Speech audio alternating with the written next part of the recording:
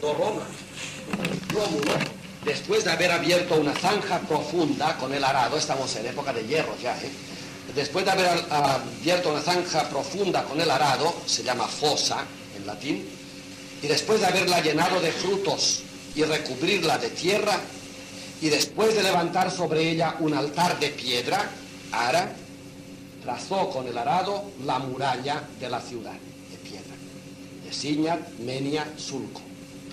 Designó las murallas con un surco con la arada. O sea que después de haber sacrificado a los dioses unos frutos y tapados con tierra, coge el arado, da una vuelta y esta es la, el surco en donde se asientan las murallas de la ciudad y Roma se hará dentro. Luego el lugar sagrado es la ciudad, rodeada de piedras que se llaman murallas. Las murallas son sagradas. En la ciudad es el templo en grande o el templo de la ciudad en pequeño. Esto que tenemos aquí, traducido a ciudad, sería una ciudad sagrada. Y para el hombre primitivo, además, el lugar, el espacio sagrado que queremos evocar, se hace en la ciudad de cada uno, se hace en el templo de las ciudades y se hace en el interior del hombre. Esto es interesante, que hay un humanismo eh, inicial muy notable. También el hombre es un lugar acotado en su interior. Por esto Sócrates, ya muy moderno, nos dirá que el conquistador de ciudades no puede compararse en grandeza al hombre que conquista su ciudadela, la suya. Para esto hay que recordar un centenario que celebramos. Santa Teresa, que también es una gran experimentada en religiones, nos dice que el hombre va conquistando su grandeza a través de unas moradas, hasta que llega la séptima morada, que es la más alta, moradas, la ciudad, templo, lo quieres llamar. O sea que el hombre tiene en su interior siete moradas, siete templos, y la perfección del hombre consiste en conquistar, en escalar, como está pintado en la pizarra, cada uno de estos templos hasta llegar a perderse ya en el séptimo, que es la cúspide donde habita Dios. Esto es de ayer, esto es de Santa Teresa. ¿Qué experiencia religiosa así que ciertamente ella no sabía nada, ciertamente no sabía nada. Pero ¿con qué derecho dice uno que no sabía nada? Si lo sabía todo. Lo único que pasa es que no sabía que lo sabía, pero lo sabía.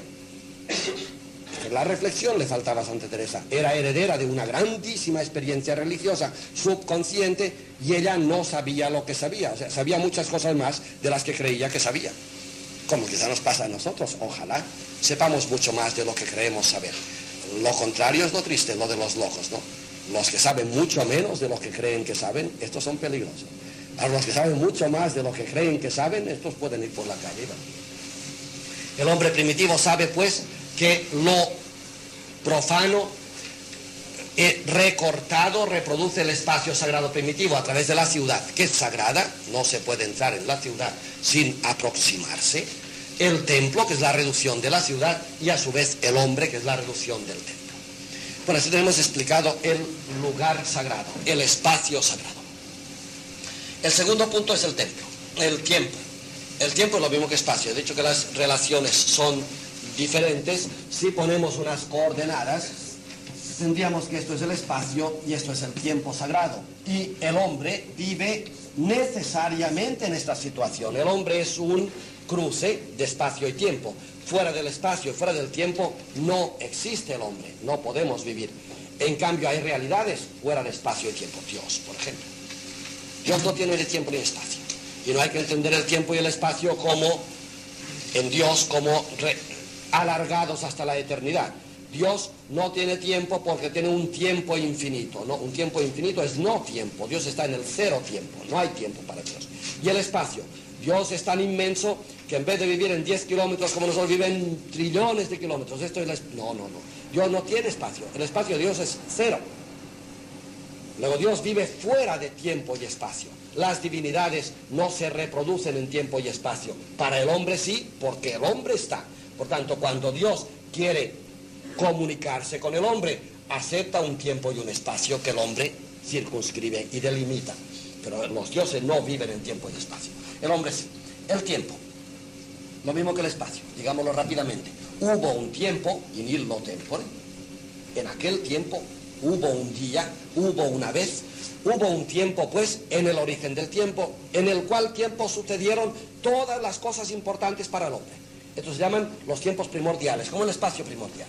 Si Dios y el hombre y las primeras experiencias humanas se dieron en un lugar determinado que se puede reproducir, también se dieron en un tiempo determinado que se puede reproducir.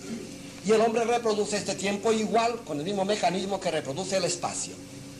Coge el tiempo y de la masa del tiempo extrae un tiempo y lo delimita. Por ejemplo, el domingo sobre la semana. Por ejemplo, la Pascua sobre el año o la Navidad sobre el año. La Pascua bien sobre el año lunar, Navidad sobre el año solar, etc. El hombre, por tanto, de la masa del tiempo, del espacio del tiempo, saca trozos y los delimita y hace un día sagrado, un tiempo sagrado, la noche de San Juan, por ejemplo, las fiestas de primavera, por ejemplo, San Isidro en, en Madrid, en un lugar determinado, son tiempos mm, extraídos, desgajados del tiempo total y delimitados, consagrados. Con lo cual tendremos otra vez la dialéctica de, de tiempo profano y sagrado. ¿Qué es un tiempo profano? Es que el martes no es sagrado y el domingo lo es. O es que es al revés. Es que una vez que hemos extraído un día que llamamos domingo y le llamamos sagrado, lo demás queda profanado, pero que no lo era antes, porque antes era todo sagrado, es la dialéctica que no, no vamos a aclarar ni tiene mucha importancia. Si el hombre sabe que puede reproducir el tiempo sagrado es, pero se puede crear y se puede consagrar este tiempo y este tiempo reproduce el tiempo primitivo. Esto es lo importante. Eliade, que fue el, bueno, tantas cosas es maestro, en la cuestión del tiempo tuvo una intuición genial, no intuición, sino un descubrimiento genial del tiempo de las religiones, que ya las teologías han aceptado y es una pena que no haya corrido más. Para los hombres primitivos, digamos hasta hoy mismo, el espacio que tenemos sagrado, un templo, una ciudad sagrada, el espacio, este, reproduce con todas sus consecuencias el espacio primitivo. Aquí Dios y el hombre se hablan, como aquí.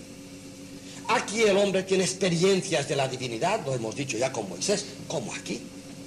O sea que Dios, el hombre, es capaz de extraer del espacio un espacio recortarlo y hacer que en él se reproduzca el espacio único primordial. Pues lo mismo pasa con el tiempo. El tiempo que el hombre ha sacado de su masa de tiempo está reproduciendo aquel tiempo primitivo en el cual se dieron las primeras experiencias de la humanidad. Y este tiempo es reproducido. Digo que este es el descubrimiento del día de que hay que subrayar siempre. A veces entendemos que cuando tenemos un tiempo sagrado, vayamos a lo nuestro un domingo, ¿qué hace el domingo? Bueno, pues el domingo reproduce el domingo de Pascua.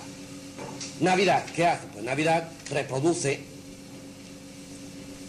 recuerda el nacimiento de Cristo. Hubo un tiempo en Cristo nació, una vez para siempre, no va a nacer cada año Cristo, ¿no? Cristo nació en un tiempo primordial, tiempo único en la historia. Y ahora nosotros lo repetimos, lo reproducimos el día de Navidad. Cristo resucitó una vez por siempre en un momento apax de la historia. Y ahora nosotros en la Pascua reproducimos el tiempo de Cristo. Cristo murió una vez en la historia, el Viernes Santo. Y ahora en la misa los cristianos reproducen el Viernes Santo. Pues el día de dice, esto es contra toda la historia de las religiones. El hombre primitivo no entendía esto. El hombre, como pasa con el espacio, es capaz de dar al espacio sagrado las categorías, los privilegios del espacio primordial. Y por tanto, en el tiempo pasa lo mismo. El hombre religioso da al tiempo sagrado las categorías del tiempo primordial y único. Por eso, el domingo no es que repite el día de Pascua. El domingo es el día de Pascua. Como el templo es el lugar, el espacio sagrado. Por tanto, la Eucaristía, la misa, no es ¿Qué reproduce el sacrificio de Cristo. No, no, esto es una herejía. Es el sacrificio de Cristo. En otras palabras, que el tiempo sagrado es un tiempo extraído del tiempo. ¿Qué significa? ¿Qué significa? Que con un rito, con un ensalmo, el rito, la Eucaristía, por ejemplo, con un, maleficio, que diríamos, ¿no? Con un encantamiento. Tú coges el domingo de Pascua, el único que ha habido, y con el ensalmo lo traes aquí y los que están presentes asisten al día de Pascua. Tú no lo reproduces en absoluto, tú anulas el tiempo, el tiempo que ha transcurrido entre este tiempo y el primordial. Y traes, es lo mismo decir que coges al hombre y lo transportas al tiempo primordial, como que coges el tiempo primordial y lo traes aquí. Es bien igual. Lo que deben saber los creyentes de todas las religiones de la tierra es que sus padres cuando crearon el tiempo sagrado no reprodujeron el tiempo sagrado, sino que lo extrajeron de la sucesión, del deslizamiento del tiempo, lo congelaron y aquí lo tienes presente. Por tanto, la misa no es la reproducción del sacrificio de Cristo, es el sacrificio de Cristo. Los que van a misa están asistiendo presentes al Viernes Santo. Estaban presentes. El Viernes Santo ha venido aquí y estamos todos viéndolo. Navidad, la fiesta de Navidad, la liturgia de Navidad, que es un rito, liturgia, eh, eh, encanta el tiempo, hechiza el tiempo y hace que la noche de Navidad venga aquí y todos asistimos a la noche de Navidad. No reproduce nada, es la noche de Navidad. El día de Pascua es igual, el rito de Pascua, los encantamientos que hace el hechicero, el cura, eh, congelan el tiempo y el tiempo, el, día de Pascua único, que no se repetirá, viene aquí presente y yo asisto, lo cual es maravilloso. Y la teología digo que ya lo ha aceptado, pero la pena es que no ha corrido entre el pueblo cristiano. Los cristianos te dirán, la misa repite el sacrificio. Es una herejía, no repite. ¿Cómo que repite? Si ya está hecho. El día de Pascua repite, no repite la Pascua, es la Pascua. Es igual que si coges el tiempo y lo traes. Bueno, eh, eh, digamos ahora la relación de tiempo y espacio quedará clara. Si, si cogemos un tiempo, una sucesión de tiempos, ¿no? Mil años, y, y los congelamos, los petrificamos, tendremos un espacio. El espacio es tiempo petrificado. A ver. Y al revés, tú coges un, espacio y lo diluyes, lo disuelves, en tiempo, son gotas que se suceden, digámoslo poéticamente. Tú coges una sinfonía de Beethoven y la petrificas, ¿cómo sería una sinfonía de Beethoven hecha espacio? Pues una catedral, más o menos. La sinfonía es tiempo, la sinfonía no, no existe, ¿no? está escrita en un papel pero no suena. La sinfonía hay que ejecutarla, es hija del tiempo, sin tiempo no hay sinfonía lo que está escrito en el papel no es la sinfonía, es un lenguaje que si lo traduces bien te reproducirá una sinfonía, pero no es la sinfonía. Para necesitar los instrumentos. Pues, tiempo. Bueno, pues tú coges la, la sinfonía de Beethoven, la extraes del tiempo y la congelas, te quedará un espacio, digamos una catedral. Haz al revés. Coge una catedral medieval, la de Chartres, y la disuelves, la diluyes, y te quedará un, un sinfín de notas por el espacio. Se ha hecho música. Tiempo. espacio y tiempo se corresponden el espacio es tiempo congelado y el tiempo es espacio diluido. Entonces, esto estamos diciendo, el tiempo y el espacio en los cuales vive el hombre y que los necesita son eh, lugares y tiempos, tiempo y espacio de teofanías, de manifestaciones, las cuales se dieron una vez para siempre y dieron al hombre la capacidad de congelar el tiempo de tal manera que aquello que se dio de una vez para siempre puede hacerse presente al hombre de cualquier tiempo y de cualquier espacio. O sea que el hombre puede superar el tiempo y el espacio y acercarse a las divinidades, las cuales le hablaron en un espacio y en lo tempore, en un momento y tiempo ideal, primordial, que puede no ser reproducido, sino ser traído para acá, o el hombre para allá, y asistir al hombre ahora mismo a aquellos tiempos en los cuales sucedieron los grandes misterios de la revelación o de la redención humanos. Bueno, con ello hemos terminado la, síntesis que debíamos hacer. Ya ven ustedes a dónde lleva la historia de las religiones y a qué profundidades nos lleva y cuán fácil es decir que eh, el hombre es, aunque no lo sepa, un animal religioso. En realidad todo esto es religiosidad y esto lo sabemos todos los hombres. Me figuro que aún aquellos que no tienen religión saben perfectamente estas cosas. Esto quiere decir que no tener religión es sencillamente tapar una puerta sobre un abismo que está lleno. He dicho también que Eliade es el gran maestro de esta idea del tiempo y del espacio sagrado porque ha llegado a la conclusión de que toda historia de religiones es una historia de tiempos y espacios sagrados, una dialéctica de lo sagrado en el tiempo y en el espacio. Yo quiero terminar agradeciendo la presencia a este curso que ha sido largo y espero que haya sido fecundo y que además Espero y deseo que las lecciones que hayamos dado no sean no solamente pesadas, pero que no lo hayan sido, sino que hayan sido, como debe ser toda lección bien hecha, descubridora de cosas que uno llevaba dentro sin saberlo. Por tanto, no soy yo quien las he puesto dentro, sino sencillamente el que ha abierto la puerta y he dicho, aquí está. Muchas gracias por el curso y espero que el año que viene podamos continuar. Esto hablarán los responsables del grupo. Muchas gracias. No sé si hemos de hacer diálogo, pero espero que como la cosa se alarga hoy, es mejor que vayan a dar.